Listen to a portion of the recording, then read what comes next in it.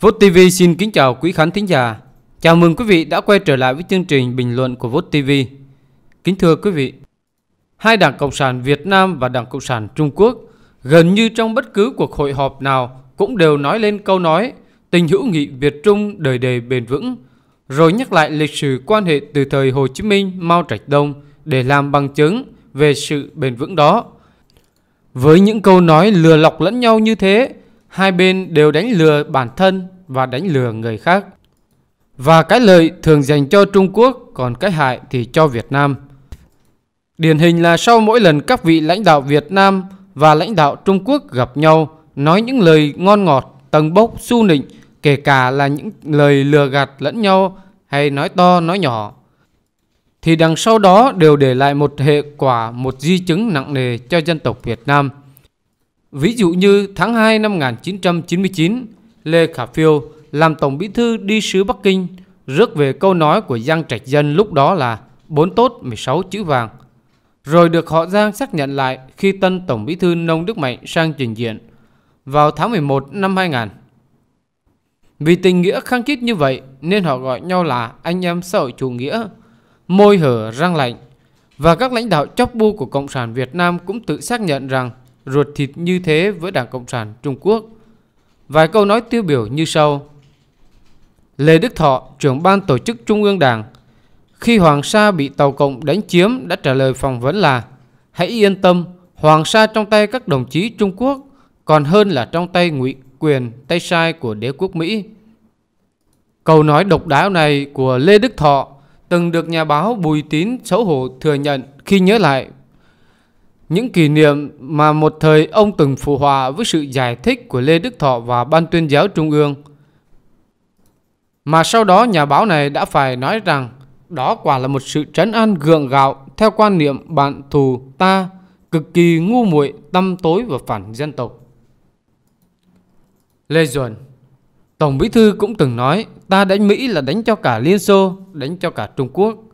Câu nói nổi tiếng thời danh này làm cho biết bao nhiêu người phải ngả ngửa ra sau khi có những vấn đề trong các quan hệ quốc tế và nó chỉ có thể được coi là một hành động tuyên bố về tính phản quốc của Đảng Cộng sản.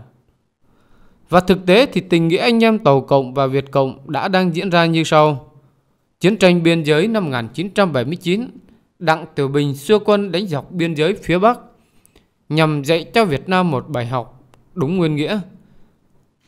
Quân Trung Quốc đã tàn sát dã man hàng chục ngàn dân thường, bất kể già trẻ, phụ nữ, trẻ con. Nhưng hàng chục năm sau đó, nhà nước Việt Nam vẫn còn sợ, vẫn không dám tổ chức tưởng niệm. Đảo Gạc Ma bị cướp năm 1988, 64 lính Việt Nam đã phải làm bia sống cho Trung Quốc vì lệnh miệng không được nổ súng của Bộ trưởng Quốc phòng Lê Đức Anh. Tướng Lê Mã Lương quyết đưa ra ánh sáng sự thật về gạc ma vòng tròn bất tử. Với cả trăm lần chỉnh sửa, nhưng sách vẫn không được phép xuất bản. Khi công ty Trí Việt in thì bị cấm phát hành. Câu lệnh miệng nổi bật của Lê Đức Anh là không được nổ súng. Với nhiều nhân chứng tầm cỡ đang còn sống xác nhận, nhưng bị nhóm phát phản biện. Câu nói họ diễn giải thành không được nổ súng trước. Thêm chữ trước Ví dụ như có thêm chữ trước thì kết quả vẫn là lính Việt Nam bị thảm sát và gạc ma bị cướp. Đến năm 2009, Trung Quốc tuyên bố yêu sách đường lưỡi bò chín đoạn, chiếm tới 90% diện tích Biển Đông. Philippines đã kiện ra tòa án quốc tế, kết luận yêu sách đường lưỡi bò là phi pháp. Rõ ràng Việt Nam lãnh một hậu quả rất nặng nề, nhưng sợ nên không dám bắt trước Philippines để tạo chứng cứ pháp lý làm nền tảng chiến đấu bảo vệ đất nước.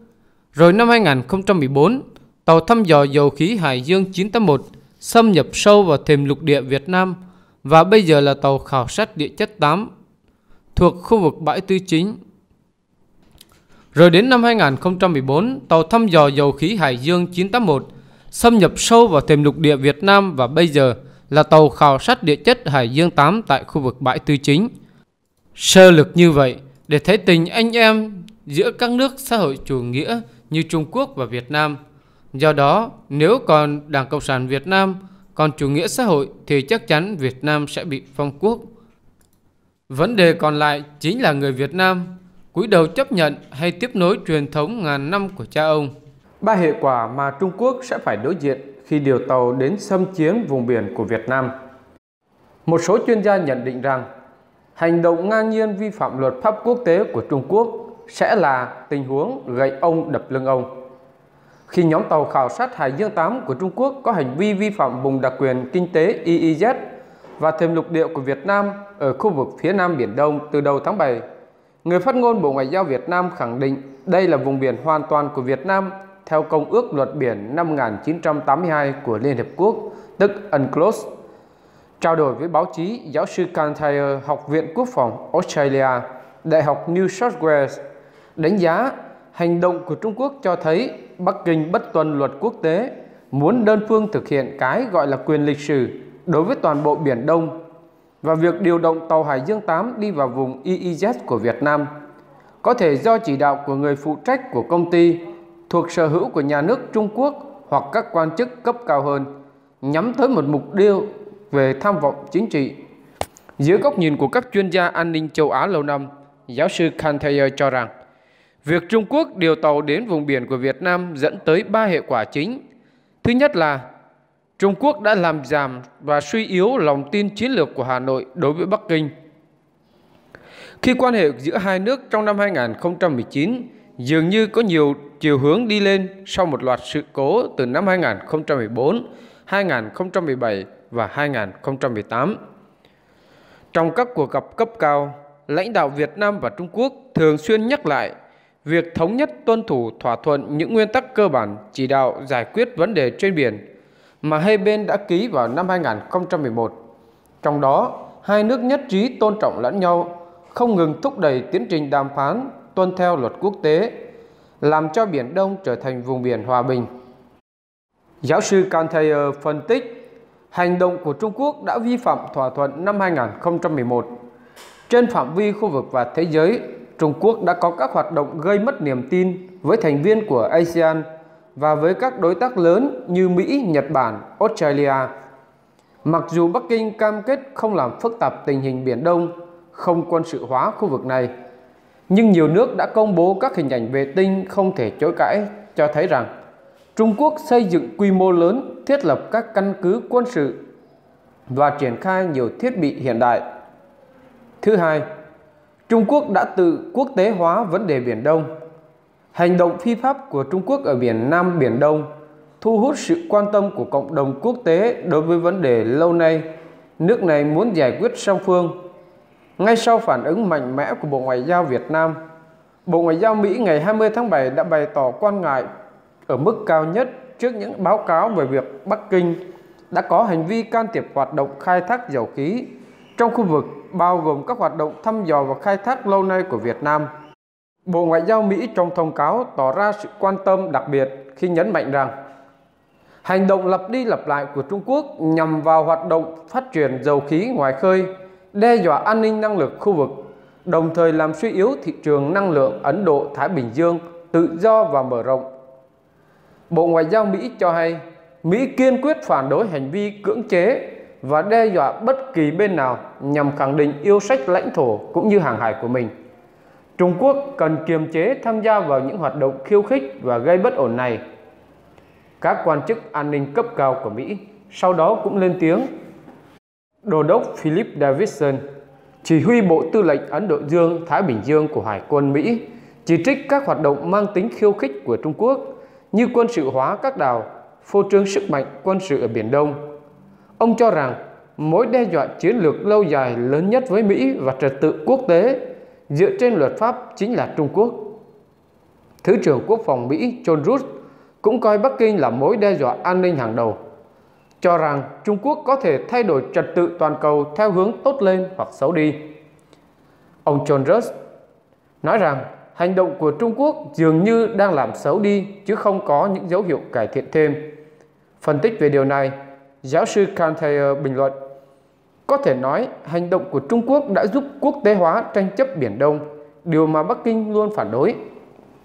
Tiến sĩ Colin Kaur Siukulan, chuyên gia tại trường nghiên cứu quốc tế Raja Ratnam Singapore cũng cho rằng khi dư luận quốc tế dành mối quan tâm lớn đến việc Trung Quốc điều tàu đến vùng Nam Biển Đông của Việt Nam. Nhất là sau khi Mỹ tuyên bố lên án, người dân Trung Quốc cũng sẽ biết đến sự việc. Collins nói, khi dư luận trong nước biết phản ứng của quốc tế với Bắc Kinh, chính quyền bị mất uy tín với chính người dân của mình và Trung Quốc sẽ rất bối rối trong việc xử lý. Hệ quả thứ ba là việc điều tàu lần này của Trung Quốc có thể dẫn tới sự trì hoãn đàm phán Bộ Quy tắc ứng xử ở Biển Đông COC giữa Bắc Kinh và ASEAN. Theo giáo sư Kantayer, sự trì hoãn này sẽ làm thất bại ý đồ của Trung Quốc là dùng COC để thuyết phục các nước có tranh chấp hợp tác khai thác tài nguyên, loại trừ sự can dự của nước ngoài ở khu vực. Trung Quốc đã nhiều lần tuyên bố không muốn nước ngoài khu vực can thiệp, cụ thể là Mỹ, nhảy vào các bàn đàm phán giữa Bắc Kinh với các nước cùng có tranh chấp ở ASEAN và Biển Đông. Viễn cảnh đạt được thỏa thuận COC một bộ quy tắc ứng xử có tính ràng buộc về mặt pháp lý vẫn còn một chặng đường dài ở phía trước. Trung Quốc và ASEAN muốn khởi động thảo luận COC từ năm 2013, nhưng đến tận tháng 8 năm 2018, hai bên mới thống nhất được các dự thảo văn bản của COC, đều được coi là một tiến triển lớn. Về những diễn biến sắp tới, giáo sư Kanteyer dự báo nhóm tàu của Trung Quốc sẽ rút đi, nhưng lưu ý Trung Quốc không có ý đồ từ bỏ bá chủ khu vực và ép các nước khác chấp nhận. Giáo sư Kanteyer cảnh báo rằng Bắc Kinh sẽ tiếp tục thúc đẩy việc đưa các công ty dầu mỏ và lực lượng hải cảnh đến vùng đặc quyền kinh tế của các nước ven biển nhằm buộc họ chấp nhận vai trò của Trung Quốc. Tiến sĩ Colin cho biết thêm rằng nếu các tàu của Trung Quốc ở Nam Biển Đông rút về với một lý do không bị mất mặt, Bắc Kinh sẽ tiếp tục sử dụng cách thức bắt nạt này trong tương lai. Ngược lại, nếu bị mất mặt, Trung Quốc sẽ có các biện pháp gây hại khác đối với Việt Nam và các nước cùng có tranh chấp. Giáo sư Canter gợi ý Việt Nam nên tập trung tăng cường việc hợp tác với nhiều nước trong xây dựng năng lực cho các lực lượng trên biển, đặc biệt là trong vùng đặc quyền kinh tế EEZ. Nếu tính đến hành động pháp lý đối với Trung Quốc như Philippines đã từng làm, Việt Nam nên chứng tỏ hành động đó vẫn thể hiện mong muốn giải quyết tranh chấp bằng các biện pháp hòa bình, như lời của bà phát ngôn viên Bộ Ngoại giao Việt Nam. Hà Nội nên lập luận rằng mình có thiện chí và đã nỗ lực trao đổi hết mức với Bắc Kinh. Vào năm 2020, khi làm Chủ tịch ASEAN, Việt Nam cần tăng cường vận động hành lang để tạo nên mặt trận thống nhất của Hiệp hội trong đàm phán COC với Trung Quốc. Thayer nhấn mạnh rằng Việt Nam nên nói rõ là sẽ không chấp nhận một COC mà cho phép Trung Quốc tiếp tục vi phạm luật quốc tế, trong đó có Unclosed. Xin chân thành cảm ơn quý vị đã quan tâm theo dõi chương trình. Hẹn gặp lại quý vị trong các bản tin tiếp theo.